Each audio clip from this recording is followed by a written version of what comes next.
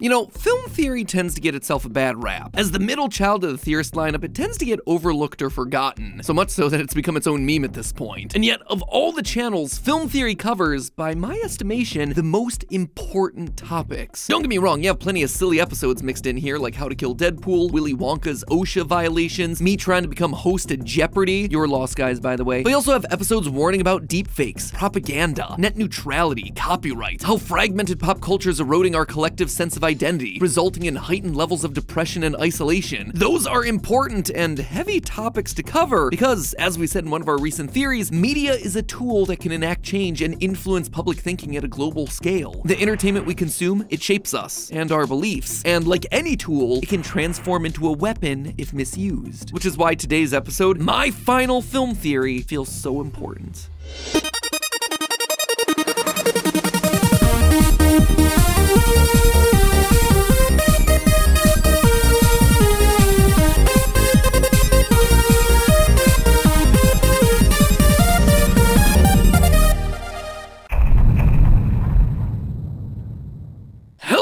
Internet! Welcome to Film Theory, the show that's now entering its Zaddy era. Today, I wanted to start off with a question. I want you to think about all the media that you consumed during your childhood, all the TV shows and movies that you loved as a kid. And now, with the perspective that you've gained as you've gotten older, can you name for me five good father figures from children's media? I'm talking about wholesome dads who want the best for their kids, who try really hard to teach them and nurture them and show them love and all the good things that dad should be doing. Legitimately, go down to the comments, type out who comes to mind, because I consume a lot of media, and I had a hard time making this list. Back when we brought Leon as creative director here on Film Theory, this was actually one of the first conversations he and I had about the state of media. Even more recently, we've asked this question around the office, and people really struggle with it. I mean, it's not impossible to come up with a list. You'll eventually get there, but it's shockingly hard. Our list ended up being Bandit from Bluey, Arthur Weasley from Harry Potter, Uncle Iroh from Avatar The Last Airbender, Mufasa from Lion King, and Goofy from a Goofy movie. But the fact that it took us a significant amount of time to do is pretty darn telling. Fathers in sitcoms are usually bumbling buffoons, deadbeat dads, or need anger management. And it's not just a lack of good dads here either. Honestly, most of the male characters that you see across media, both young and old, they're not great. Classic cartoon kids are almost universally bratty, cruel, greedy, or inconsiderate.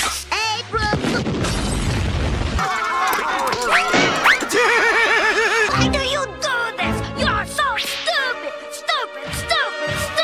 Even the oldest of old school animated characters that have been sanitized to be as brand safe and neutral today as possible, they started off as horrible jerks. Abruptly, he becomes an uncontrollable monster.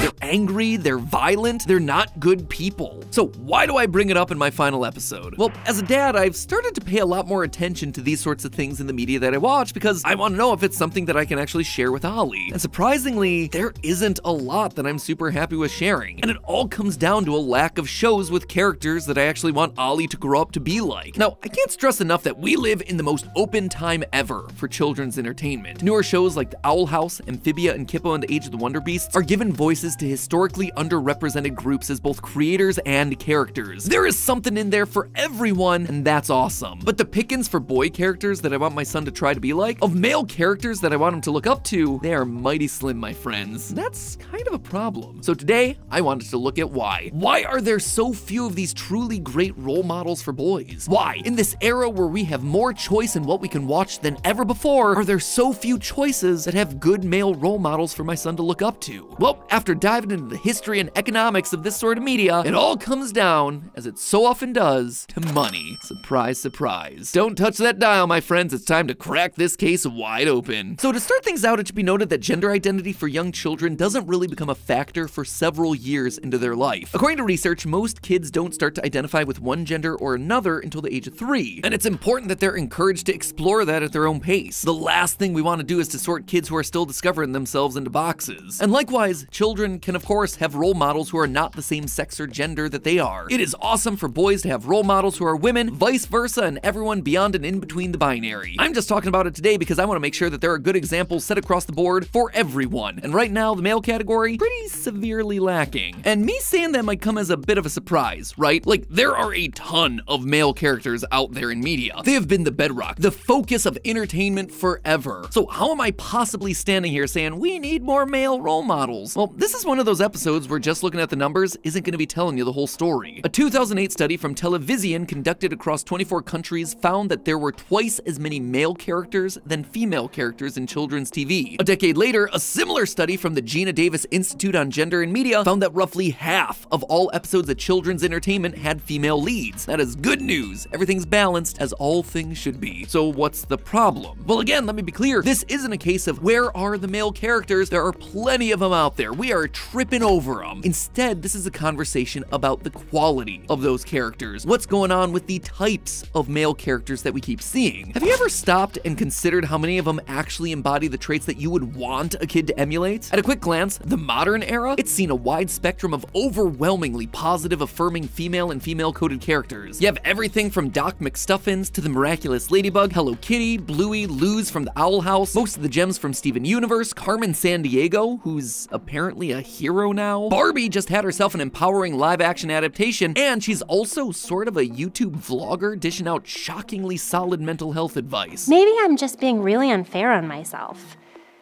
You know, I don't always have to be upbeat and positive. Even parodies of the overconfident, self-reliant neo-heroine like Princess Bubblegum from Adventure Time ultimately get to be effective political leaders, excel at STEM fields, kick butt on the battlefield, and get the girl in the end. The fact that these characters exist, that is awesome. I don't want to take anything away from that. And if this is how we're overcorrecting for decades of women being trapped as damsels in distress or trophies, I am all about that. But then you look over at the boys and things get a bit more complicated. Sure, there are some truly great and kind characters that I do want my son to look up to. For as much fun as I've had here on the channel saying that he's actually a ruthless businessman, Ryder from the Paw Patrol, fantastic role model. He's smart, he's resourceful, he's caring, he's a leader, and it was awesome that Ollie dug that series. Probably in part because he saw Ryder and wanted to connect with him. Same thing with Dipper from Gravity Falls. Also a win for being smart, curious, brave, and a loving brother. Also, there's a handful of solid early educational programming with male protagonists like Arthur, Thomas the Tank Engine, Daniel Tiger, though it's worth calling out how few of them are actually human. But let's talk for a minute about the characters that you'd typically see come up in a conversation like this, right? Well, the problem here is that they tend to have a huge asterisk attached to their names. Captain America, Superman, Batman, Spider-Man, the Ninja Turtles, they're all great, but the stories also involve a lot of war, crime, death, fighting in general. They tend to solve most of their problems through punching and physical violence. Aang, Luke Skywalker, Harry Potter, they're selfless heroes who do what they think's right no matter what the cost, but they're also sitting smack dab in franchises built on needing to be violent, fighting, often killing soldiers, stormtroopers, dark wizards. Not generally a drawback that you're facing from traditionally feminine skewing characters like Sofia the First or Elena of Avalor. And if they're not violent or surrounded by violence, well, very often they're just not good. Johnny Bravo's a big ol' womanizer. Timmy Turner's a whiny, spoiled narcissist. Jimmy Neutron's arrogant, destructive, mean to girls, and regularly uses his intelligence as an excuse for being a jerk to his friends. Even Phineas and Ferb, who are smart and resourceful and funny, are outright disobeying their parents each and every day of summer. It's actually the reason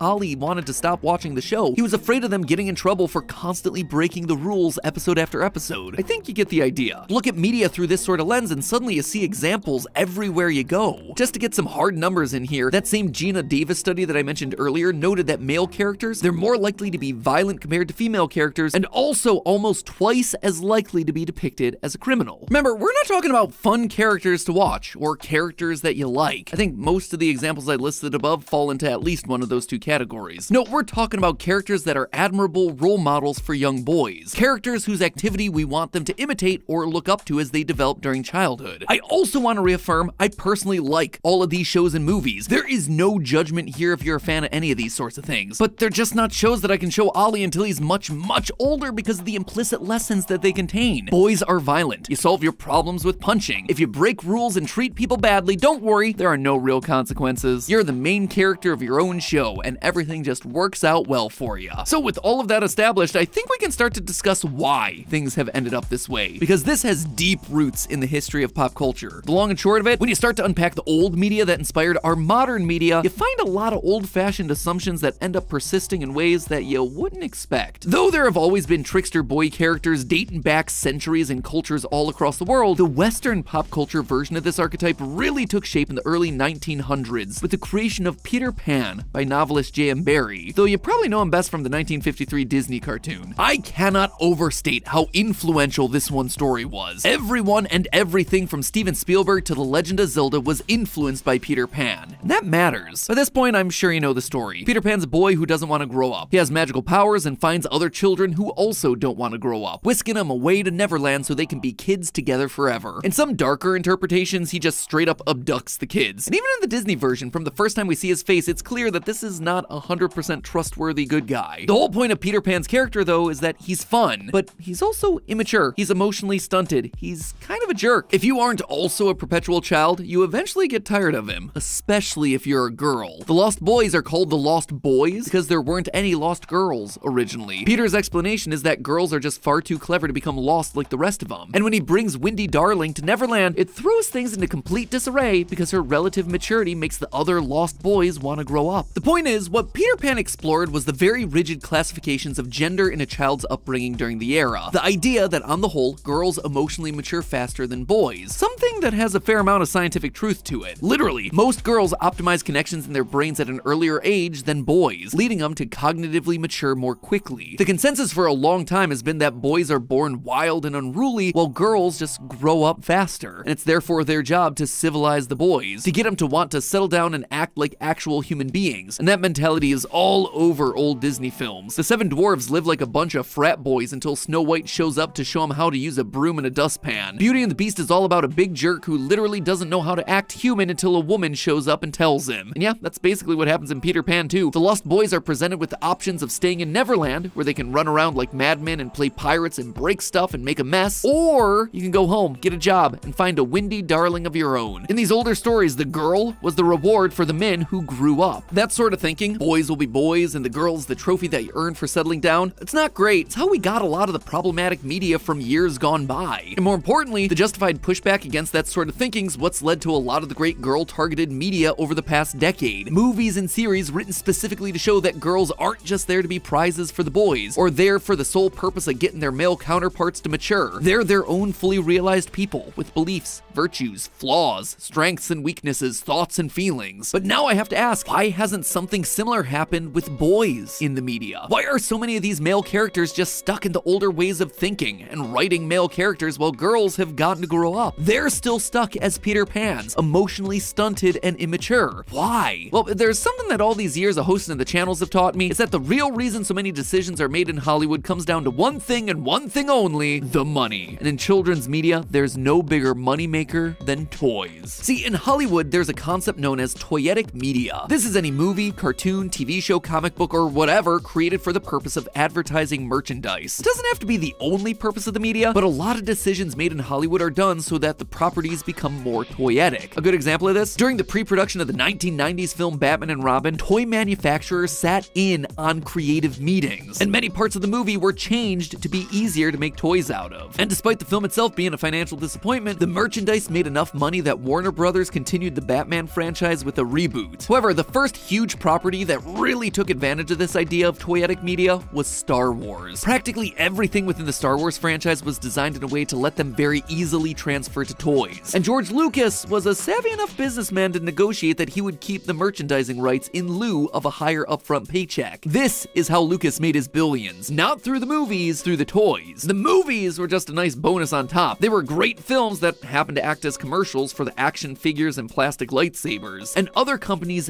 definitely took note of this. This led to a slew of toyetic IP being created for the sole purpose of selling merchandise. And a lot of the most popular franchises from the 80s and 90s fall into this exact category. I'm talking Transformers, G.I. Joe, Thundercats, He-Man, She-Ra, Pokemon, Digimon, even certified classics like Cowboy Bebop. All of them are made specifically to sell toys, games, trading cards, you name it, and not because they were the best stories to tell our kids. But then why are we still selling crummy characters to little boys and not to girls? Well, if you look at the way boys and girls relate to their toys, you start to see one of the big reasons why boy characters are held to such low standards. Let me show you an example from one of the world's biggest toy brands brands, Lego. In 2011, the Lego company completed an exhaustive study into children's play psychology that spanned multiple years and continents. They wanted to look at child development and feedback from parents to figure out the difference between boy toys and girl toys, if there was any difference at all. What did boys and girls like to play with and why? And the results were fascinating. Obviously, this comes with big asterisks that every child's gonna be different, but broadly speaking, Lego found that boys tended to play with their toys and figurines in the third person, deciding what actions the characters they were playing with would take more as a director of sorts. They were telling the knights or astronauts or superheroes what to do during play rather than being the characters themselves or putting themselves into the character's shoes. For Lego, that meant that the boys tended to gravitate towards the IP based playsets Star Wars, Spider Man, situations that were really exciting to direct the action for, but where you didn't really have to pretend to be those characters to make it exciting. On the other hand, girls tended to play in the first person, role playing that they themselves were the characters doing these actions. They projected their own identities onto the toys rather than directing them to do things. The result of all this, Lego, who had always prided itself on the idea that Lego bricks were for everyone, that they weren't gendered, they developed the Lego Friends line, focused more on pastel colors, sets that seem more like doll houses than Death Stars, and redesigned minifigurines to look more human. Lego Friends is now considered to be one of the most successful product launches in Lego's history, doubling Lego's expectations, tripling their sales with girls in the US and European markets, and rocketing Lego to become the biggest toy maker on the planet. Clearly, it met a need in the market, and the data from their study lines up with tons of other deep dive research about toys and playstyles for children. The big TLDR here is that boys and girls relate to characters differently. So when you're creating a TV show trying to sell them a bunch of toys, those shows are gonna look different depending on who you're targeting. For girls, you have to create characters that the girls want to be. So when you sell them toys, they want to embody those characters. For boys, the job's actually kind of different. All you gotta do is create exciting worlds and characters for them to direct. As long as they feel like cool, exciting characters, job done. They don't necessarily have to be someone you look up to. And therefore, you get characters that aren't really good people. They're just loud and grab your attention. I bring all this up, Lego and Toyetic Media, because I can't help but draw a connection between the ways these studies observe children playing with toys and the media that's explicitly being created for them. Because girls typically role play in the first person during childhood, there's a greater focus on seeing yourself in these characters from that female targeted media. They're designed from the ground up to be more appropriate role models because girls would directly identify with those protagonists. And on the other hand, boys are just assumed to simply watch male targeted shows for the cool characters doing awesome things. They're watching the story in the third person and incorporating what they see into the direction that they give their toys later on. In the eyes of the corporations making the media and ultimately making the toys, what's most important here is to make the male characters cool, funny, loud, and exciting, which far too often just translates into violent, stupid, and cruel. And that, I think, is a significant part of why these male characters just don't stack up, especially in relation to their female counterparts. Media, it's powerful. We see it influence action in the real world, and with younger girls now being shown that the world is open to them and that people should be taking them seriously by all these female protagonists, the ball starts rolling to make that a reality. And now, I want us to be able to do the same for these male characters. If we want our boys to grow up knowing that they should be kind, fair, smart and respectful, thoughtful and strong in all the right ways, we need to set them up for success by putting good examples of these traits in front of them in the shows that they're watching. We can still have fun with them. They can still be heroic and funny, but they can do all that without being mean or dumb or violent or destructive. It won't be easy, but we've shown over the last decade that we can make positive change in the media that's being produced. And you know what? It is time that we finally let our boys grow up. That way, my son, our sons, can have characters worth looking up to.